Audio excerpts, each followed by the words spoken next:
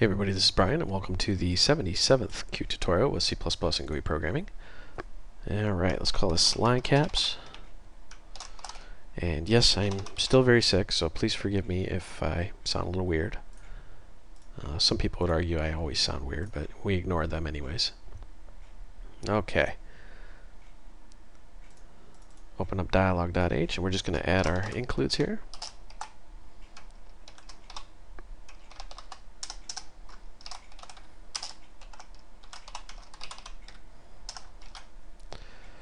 And then we're going to, of course, override the paint event.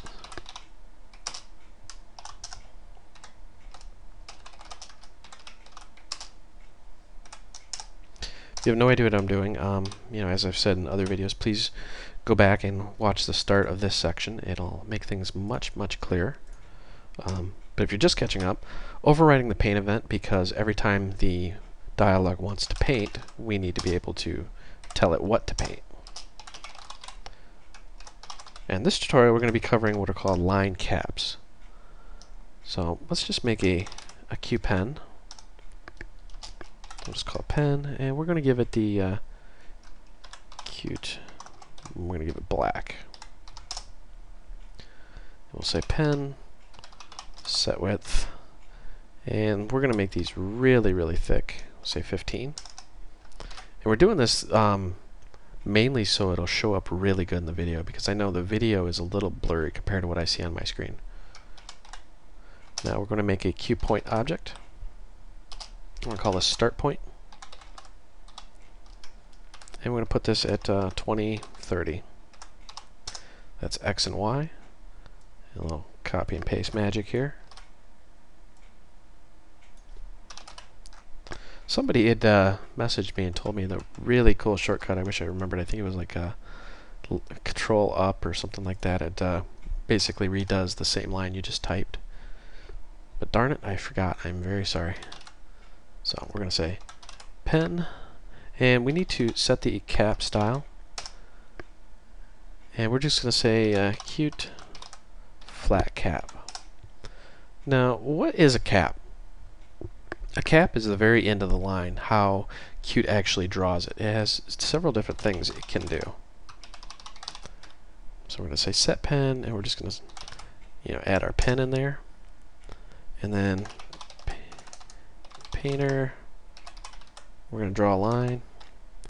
And we're going to uh, just give it start point, and of course, end point. Let's compile and run this real quick just so we can get some explanation going on here. Maybe once this builds, there we go. So we have our start point and we have our end point, and the cap is actually the very end of this line, how Qt decides to draw that. Now this looks like just a plain old boring line that you've seen a million times, but you notice how it's got the flat cap. Well, that's the default, it's the flat cap.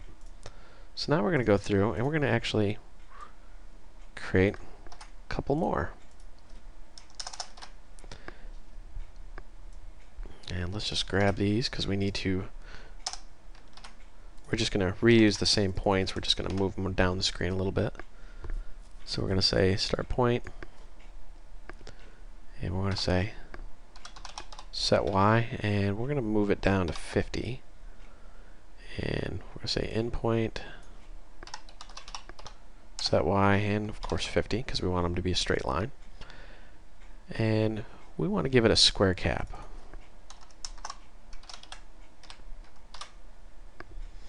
And you notice how we have to set the pen because we've modified the pen. We need to reset it. That way it copies that object into memory.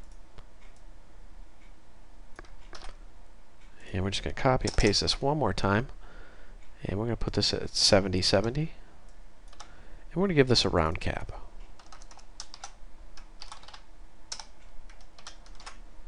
Save and run. And with any luck, it'll compile. And there we go. Now, you notice how we have three lines here, and they each look a little different. Here's our flat cap, which is the default. It just stops drawing. Our square cap actually adds an extra bit of width here, or I should say a bit of length. It's square shaped. And then we have the round cap, which is nice and rounded. Now, all of the cap styles are in the Qt help, but I just want to demonstrate how to use them and basically what they very simply look like. So this is Brian. Um, thank you for watching. I hope you found this tutorial educational, and entertaining, and uh, keep up on that feedback, guys. I enjoy hearing from you.